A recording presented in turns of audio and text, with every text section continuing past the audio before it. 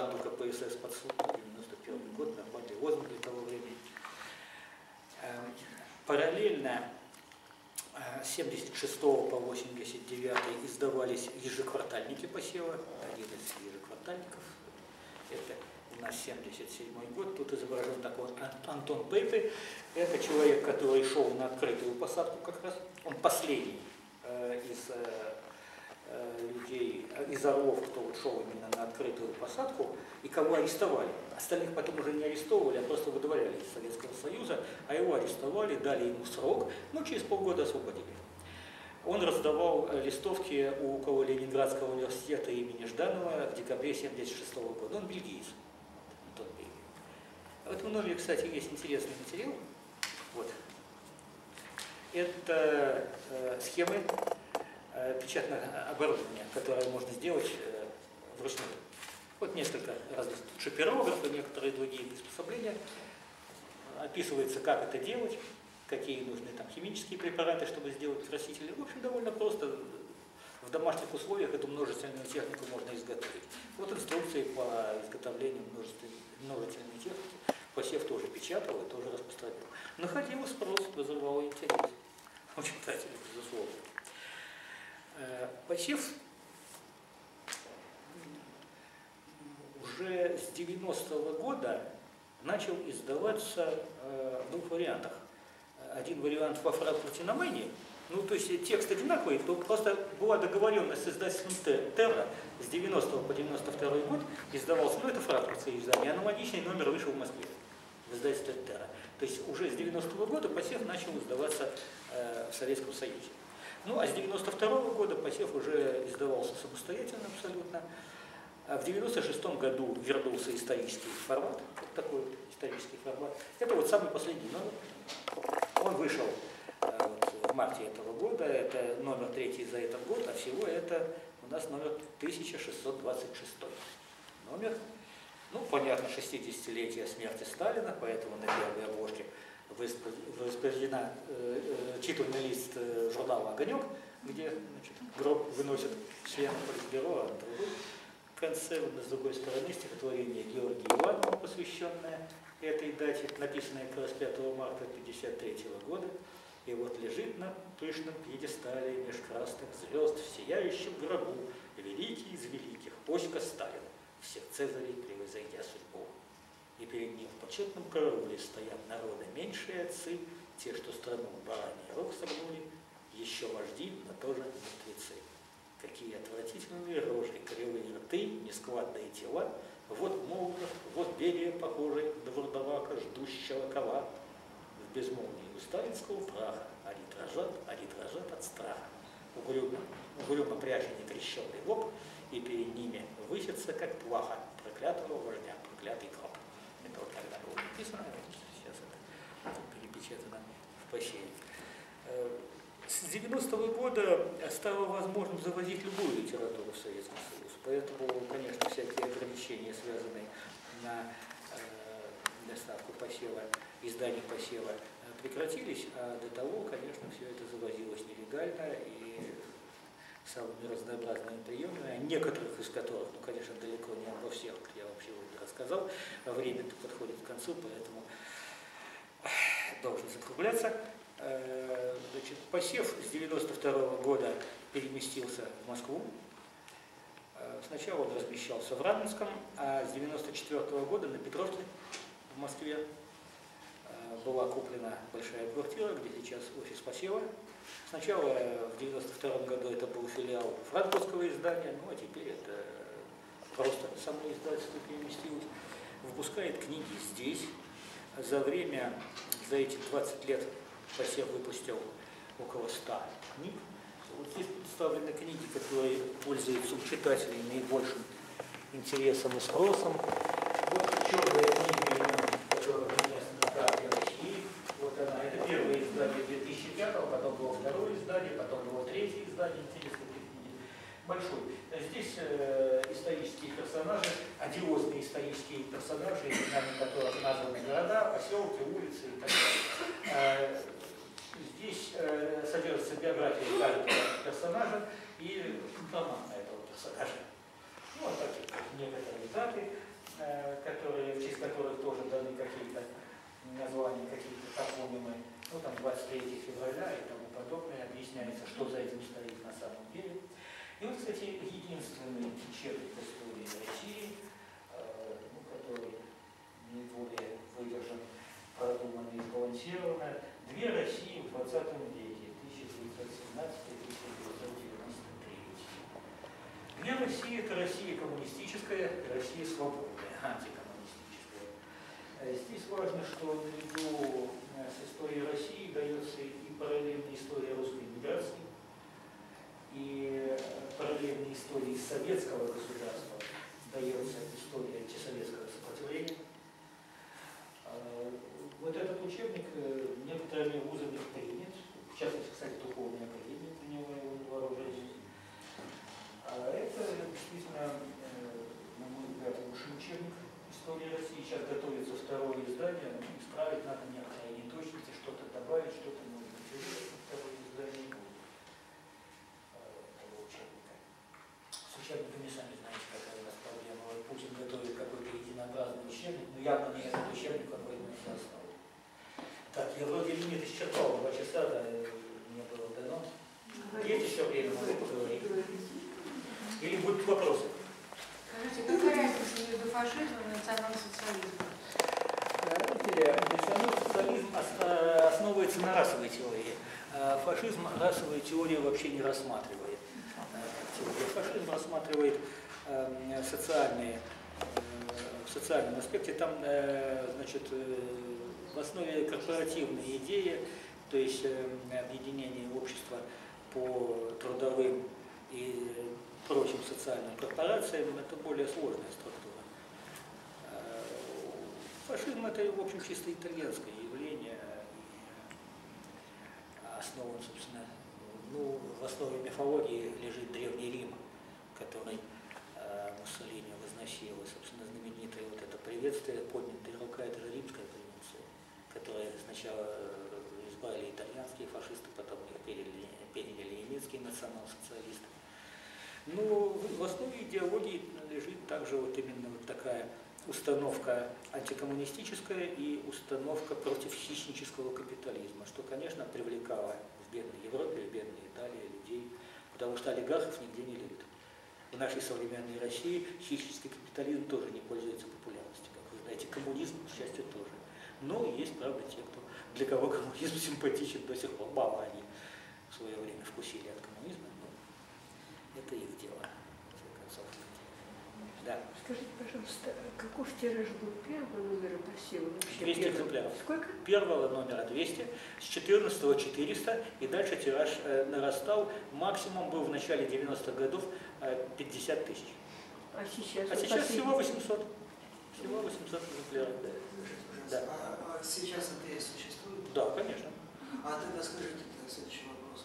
Его отношение к современной власти нашей, к российской? Ну, если мягко сказать, негативная.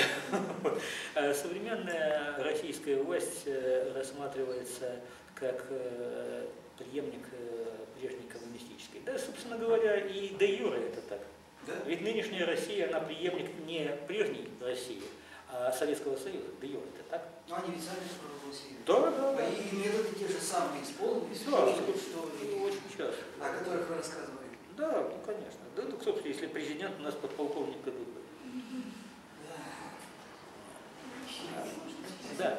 А вы приглашали ли э, людей из НТС на радиостанции там а, «Свободная Европа» или там а, «Свобода» или «Немецкая волна»? Я была прилежной слушательницей, вот когда еще... Некоторые члены НТС работали и на свободной, и на радиостанции «Свободы», и на радиостанции «Голос Америки», просто работали в 50-е, в 60-е годы и позже.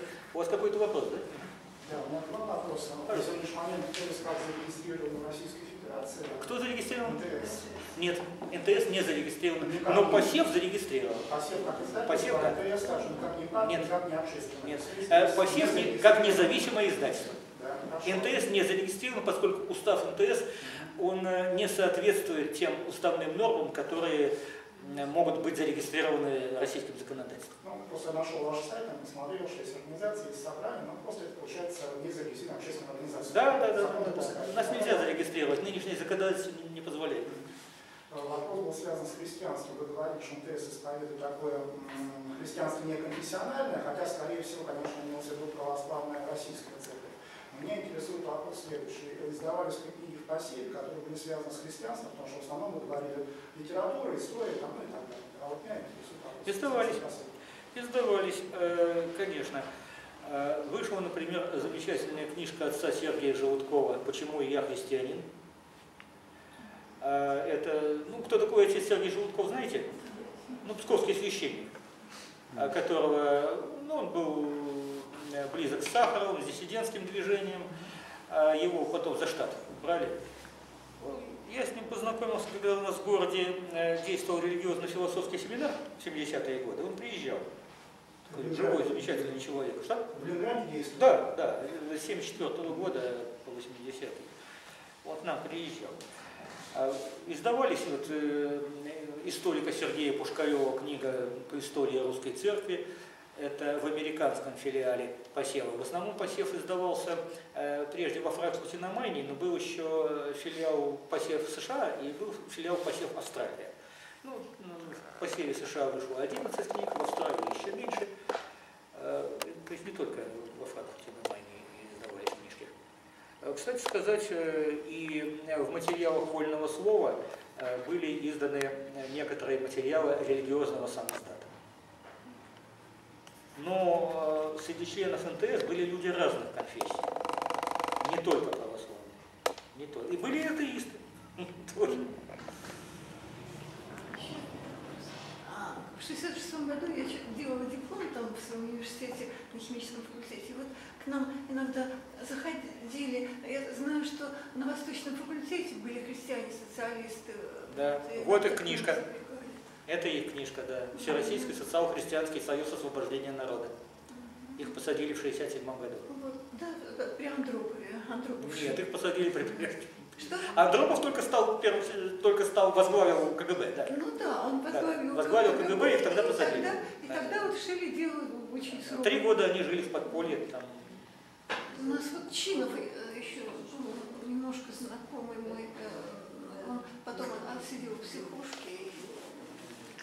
Ну, это вот дело Скажите, пожалуйста, а где вот эта литература, она продается? Где, Ну, вообще, э, современные издания, нынешние издания посева, их довольно много в Доме книг. Э, Но это в основном издания, сейчас посев издает в основном литературу историческую.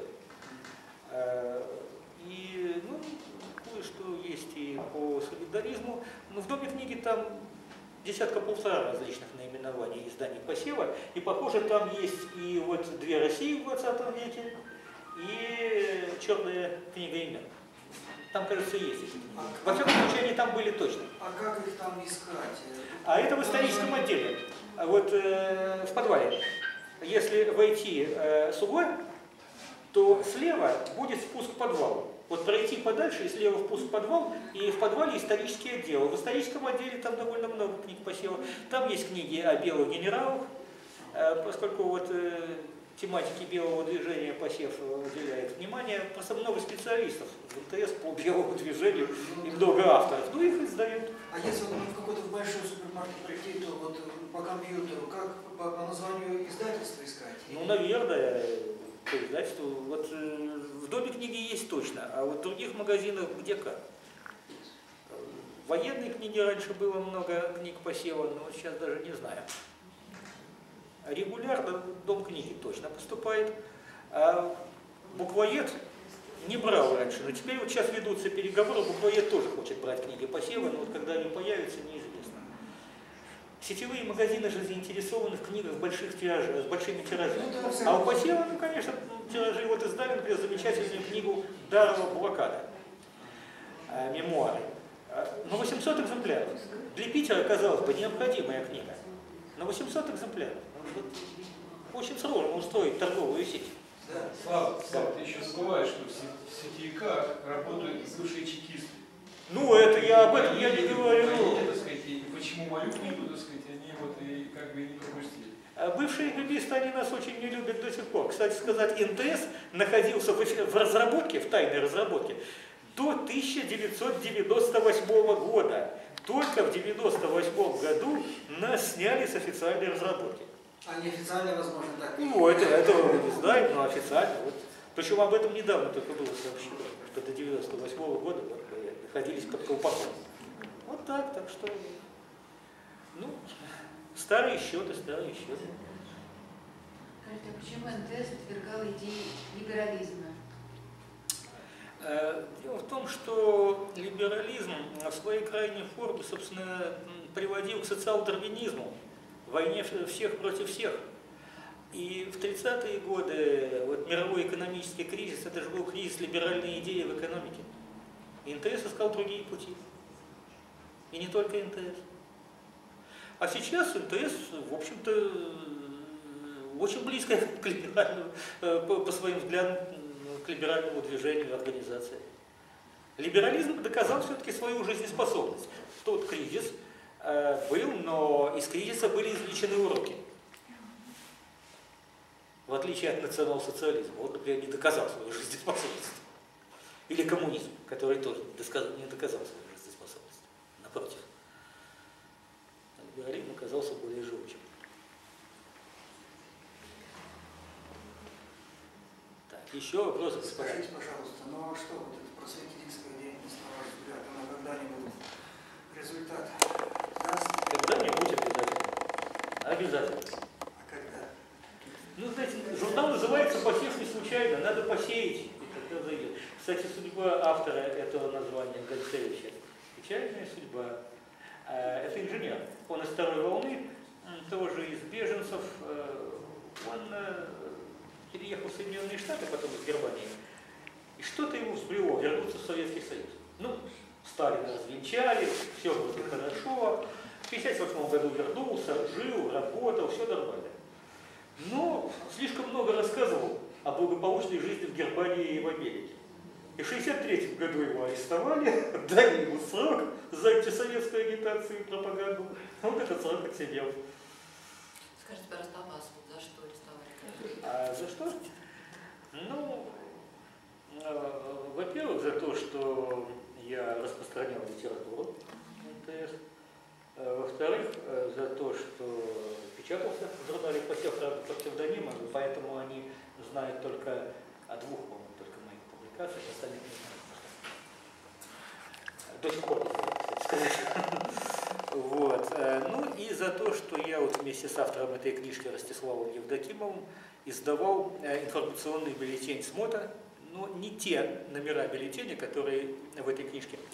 Э, Дело в том, что бюллетень СМОТа с первых же номеров стал попадать в посев, и оттуда в посеве были перепечатаны все.